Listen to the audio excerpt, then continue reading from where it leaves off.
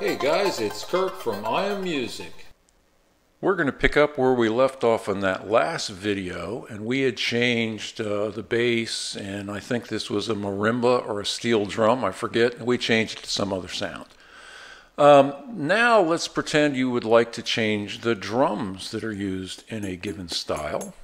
Okay, so same idea up here is the name of the kit that's used. You see this is using something called Kit Cuban, which makes sense. Uh, Sun Island, I hear tropical sounds and marimbas and, oh not marimbas, but uh, congas and cabasas and shakers and things that make you think of uh, tropical islands, right?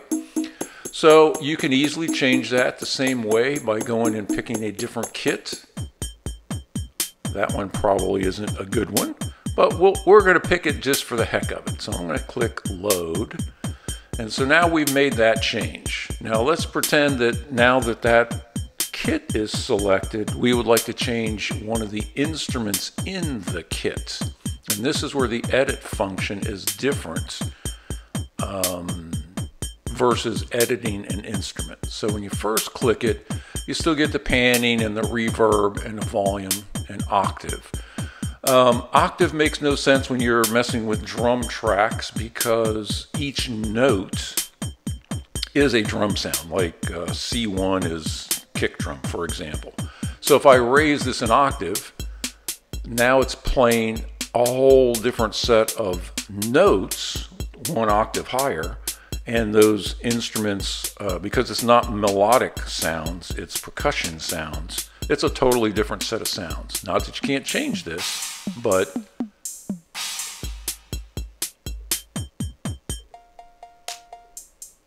notice it completely changes what you hear. Okay, now here's one thing that's interesting and quite a bit different because we're editing a drum kit. There's a button here called Adjust Drums.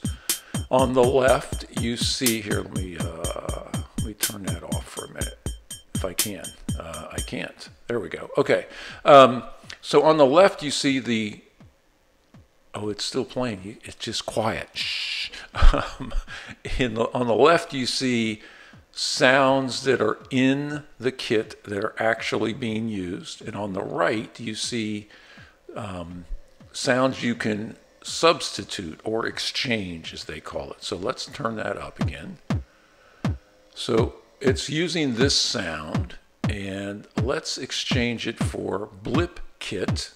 And you have to click the change button so you can actually hear it. Okay. Uh, let's pick hammer kick, change, and let me turn it up. So I hope you can hear those changes. Let me click snare. Uh, so from hammer snare, let's go to snare rim, click change. That's just the snare part. Let's try it one more time, change. So let me unsolo it.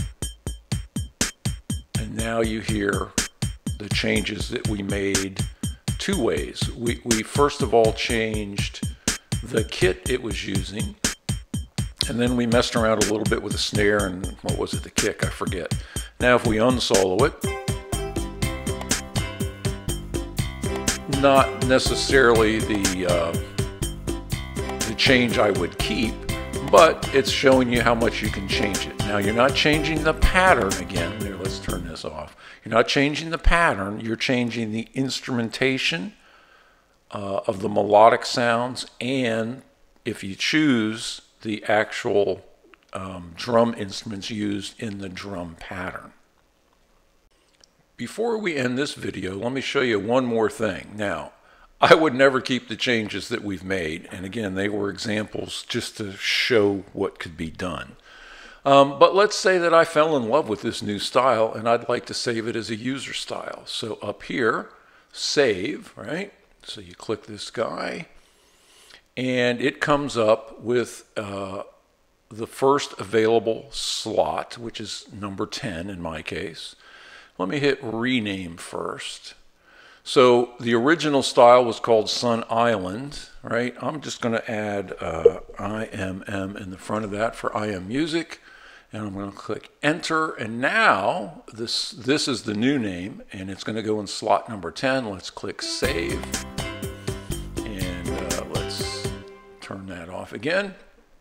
And so now if I go to uh, accompaniment, and I go to user, uh, where the heck are, I'm sorry, user here, uh, and we go to number 10 right here, there is our IMM Sun Island style. And if we wanted to use that, you'd pick it and load it, and now you've got the style with whatever changes you have made. As always, thanks for watching.